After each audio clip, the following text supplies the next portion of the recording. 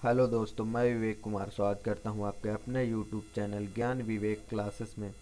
आज हम करेंगे मैथ के कुछ क्वेश्चन जो कि ये हैं परसेंटेज से, और ये जो मैं मैथ के क्वेश्चन करा रहा हूँ, जो मैंने क्वेश्चन सिलेक्ट किए हैं, ये इंडियन कोस्ट गार्ड और नेवी एमआर और एयरफोर्स वाई ग्रुप के लिए बहुत महत्वपूर्ण होने वाले हैं। अगर आप इनको करते हैं अगर आप एग्ज़ाम दिए तो आपको खुद समझ में आ जाएगा। तो चलिए, शुरू करते हैं। ये हमारा टाइप फ़र्स्ट होगा। तो आज का जो हमारा पहला क्वेश्चन है, वो क्या कह रहा है? देखिए, कह रहा किसी संख्या का 20 परसेंट एक आए तो उसी संख्या का 120 परसेंट कितना होगा? देखिए, मैं सवाल हु बहू भी पढ़ पढ़ सकता हूँ, लेकिन अगर सवाल को अपने लैंग्वेज में समझेंगे, अपने भाषा में समझेंगे तो थोड़ा सवाल करने में इजी आता है। देखिए, कह क्या रहा है? जो 20 परसेंट है वो 120 के बराबर है।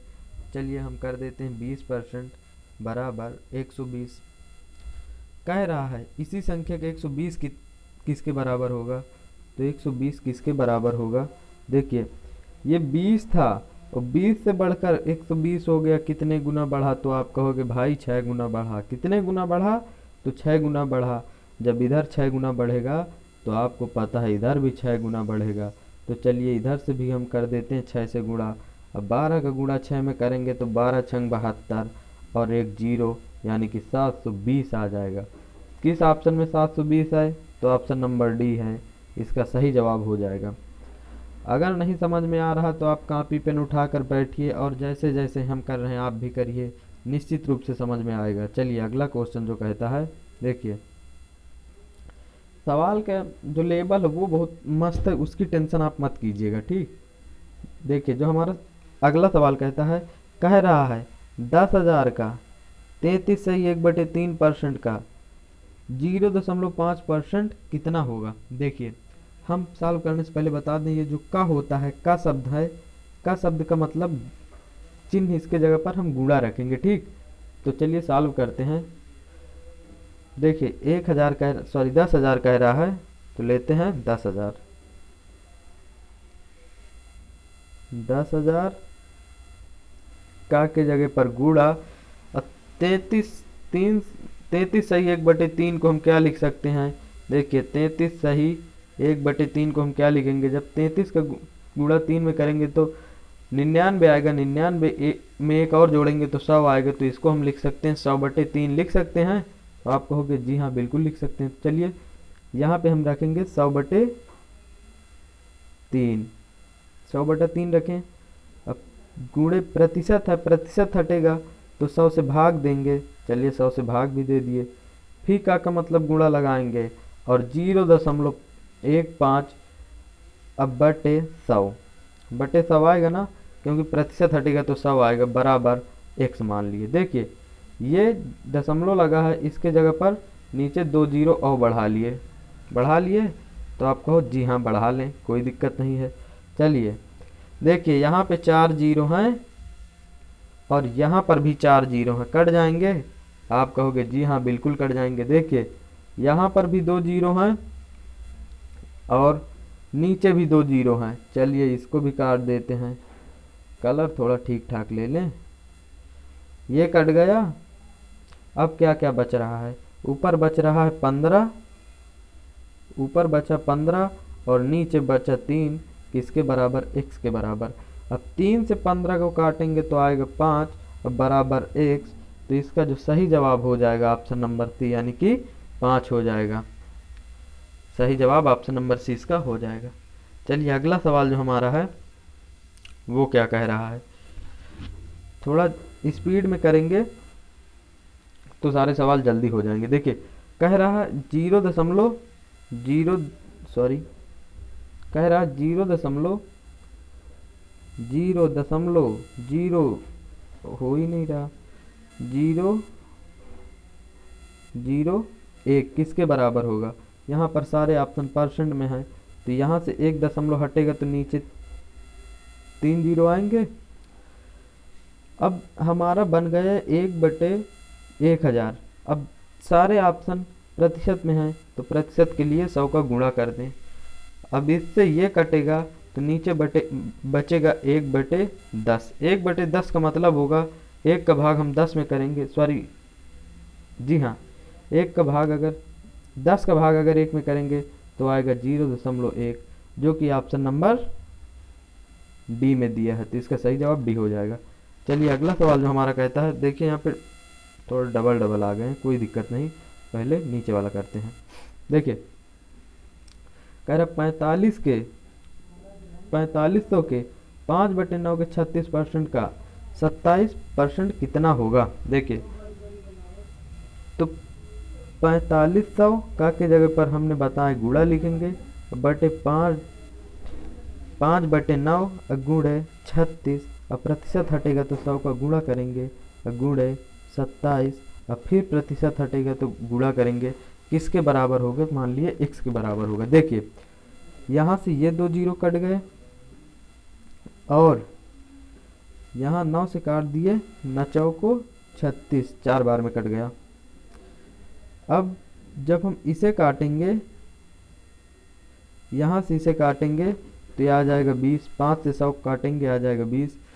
और जब हम चार इसको काटेंगे, चार से बीस को काटेंगे कलर चेंज कर लें तो ज़्यादा समझ में आएगा। देखिए हाँ जब चार को हम बीस से काटेंगे तो आएगा पाँच। अब हमारे पास बचा क्या? हमारे पास बचा पैंतालीस गुणे सत्ताईस बटे पाँच बराबर एक्स। इतना बचा। पाँच से इसको काटेंगे तो आएगा नौ। नौ का गुणा सत्ताईस में करेंगे तो आएगा नौ, सात नौ तिरसठ सात नौ दून चौदह और चौदह छः क्षमा कीजिएगा। जब हम करेंगे सत्ताईस का गुणा नौ में तो कितना आएगा? तो नौ सत तिरसठ की तीन और हमारा जो शेष बच गया छः नौ दून अठारह और अठारह छः चौबीस, यानी कि जो इसका सही जवाब हो जाएगा ऑप्शन नंबर सी दो सौ तैतालीस आ जाएगा। इसका सही जवाब ऑप्शन नंबर सी हो जाएगा। चलिए, एक सवाल और था इसमें। देखिए, ये सवाल क्या कह रहा है? इस बार कलर थोड़ा अलग ले लें तो दिखेगा। सवाल कह रहा है कि तीन दशमलव छः का, तीन दशमलव छः किलोग्राम कितने प्रतिशत है बहत्तर ग्राम का? बहत्तर का कितने परसेंट है? देखिए तो बहत्तर कितना? तो बहत्तर लेंगे। क्षमा कीजिएगा। बहत्तर लिख जा। देखिए, बहत्तर बटे ये ग्राम में है, सॉरी, किलोग्राम में है, और ये ग्राम में है तो इसे भी हम ग्राम में बनाएँगे तो करेंगे एक हज़ार से गुणा, लेकिन एक दशमलव है तो आएगा नीचे छत्तीस सौ। अब प्रतिशत बनाना है तो सौ का करेंगे यहाँ पे गुणा। देखिए, जब ये सौ से ये सौ कटेगा, शायद दिख नहीं रहे हो, नहीं रहा होगा। ये सौ से ये सौ कटेगा, और ये छत्तीस से काटेंगे बहत्तर तो कट जाएगा हमारा दो बार में। तो इसका जो आंसर आएगा, वो आ जाएगा दो प्रतिशत, यानी कि ऑप्शन नंबर डी इसका सही जवाब हो जाएगा। चलिए अगला क्वेश्चन जो हमारा कहता है, कह रहा है। देखिए, शायद आपको दिख ना रहा हो। कह रहा है ऑप्शन कि, सवाल कह रहा है, जब एक संख्या का दस परसेंट घटाया जाता है तो उसका जो परिमाण है, तीस आता है तो संख्या क्या थी? कह रहा है, संख्या दस परसेंट घटा दिए तो वो बच गई तीस। तो संख्या क्या थी? देखिएगा। मान लिए संख्या हमारी सौ थी। हम्म, सौ में दस परसेंट घटाए तो कितनी बची? तो आप कहोगे नब्बे बची। और ये नब्बे परसेंट जो दिया है ये दिया है तीस के बराबर। हमारा जो नब्बे परसेंट तीस के बराबर है तो एक परसेंट किसके बराबर होगा? तो आप कहोगे जो एक परसेंट होगा वो होगा तीन बटे नौ के बराबर। तीन बटे नौ का मतलब होता है एक बटे तीन के बराबर। तो हमारा सौ परसेंट किसके बराबर होगा? तो चलिए सौ गुणे एक बटे तीन के जब गुणा करेंगे तो आएगा तैंतीस सही एक बटे तीन, यानी कि ऑप्शन नंबर इसका बी जो है वो करेक्ट हो जाएगा। चलिए अगला सवाल जो हमारा कहता है, देखिएगा। ये दमदार सवाल है थोड़ा, कोस्ट गार्ड के लिए। कह रहा है, एक संख्या पचहत्तर परसेंट में जब पचहत्तर जोड़ा जाता है तो प्राप्त संख्या परिमाण उसी संख्या के बराबर हो जाती है तो उस संख्या का चालीस परसेंट ज्ञात कीजिए। देखिए सवाल कह रहा है कि संख्या के पचहत्तर परसेंट में अगर पचहत्तर जोड़ दें तो हमें वो संख्या प्राप्त हो जाती है तो हमें चालीस परसेंट का मान ज्ञात करना है। देखिए मान लिया हमारे पास संख्या कि, कितनी थी? तो सौ थी सौ परसेंट थी हाँ। सौ परसेंट थी सौ में पचहत्तर इधर आ गई और तो कितनी बची? तो बची पच्चीस। अब कह रहा है कि पचहत्तर में अगर, पचहत्तर परसेंट में अगर पचहत्तर जोड़ दें तो हमारी संख्या सौ हो जाती है। तो आप बताइए, अगर हम पचहत्तर में ये पच्चीस परसेंट जोड़ेंगे तो भी सौ आएगा। इसका मतलब ये है कि जो हमारा पचहत्तर दिया है, वो पच्चीस परसेंट के बराबर है दरअसल। जो पचहत्तर हमारा, वो पच्चीस परसेंट के बराबर है। तो एक बराबर कितना होगा? एक परसेंट बराबर होगा पच्चीस का भाग पचहत्तर में देंगे तो आएगा तीन। अब तो सौ परसेंट बराबर कितना होगा? तो सौ परसेंट बराबर, जब एक परसेंट बराबर तीन तो सौ परसेंट बराबर तीन सौ। अब हमारा सौ परसेंट तीन सौ आ गया, लेकिन हमें निकालना है चालीस परसेंट तो अब हम निकाल लेते हैं तीन सौ का चालीस परसेंट। जब हम तीन सौ का चालीस परसेंट निकालेंगे तो करेंगे चालीस का गुड़ा बटे सौ सौ से ज़ीरो से ज़ीरो ये कटा, और तीन का भाग अगर चालीस में देंगे तो तीन चौक बारह, यानी कि एक सौ बीस, इसका सही जवाब हो जाएगा ऑप्शन नंबर सी इसका सही जवाब ऑप्शन नंबर सी हो जाएगा। चलिए, देखिएगा, हमारा अगला सवाल कह रहा है कि अश्वनी अपनी आय का पंद्रह परसेंट खर्च कर खर्च कर देता है। यदि उसका खर्च पचहत्तर हो तो उसकी आय ज्ञात कीजिए। देखिए, कह रहा है जो उसकी आय है, उसका पंद्रह परसेंट खर्च कर देता मान लिया कि अश्वनी कमाता है, कितना कमाता है? तो सौ रुपये कमाता है, ठीक। सौ रुपये कमाता, उसमें से खर्चा कर दिया पंद्रह, और बचा कितना लिया? तो आप कहोगे पचासी बचा लिया, ठीक। जो पंद्रह है, पंद्रह की एग्जैक्ट वैल्यू जो है, वो है पचहत्तर के बराबर। किसके बराबर? पचहत्तर के बराबर है। तो एक बराबर कितना होगा? आप कहोगे एक बराबर पाँच होगा। अगर एक बराबर पाँच होगा तो वो अश्वनी की आय जो थी वो सौ रुपये थी तो सौ बराबर कितना होगा? तो आप कहोगे, अगर एक बराबर पाँच तो सौ बराबर पाँच सौ। तो उसकी आय जो होगी, वो होगी पाँच सौ, यानी कि ऑप्शन नंबर डी इसका सही हो जाएगा। Option number D. चलिए, देखिएगा। हमारा अगला सवाल जो कहता है, कह रहा है, ये सवाल, ऐसे ही सवाल आएँगे, आप टेंशन मत लीजिएगा, लेबल आपका बहुत मस्त है। कहने का मतलब जो एग्ज़ाम में आने वाले सवाल हैं, कुछ ऐसे ही आते हैं। देखिएगा।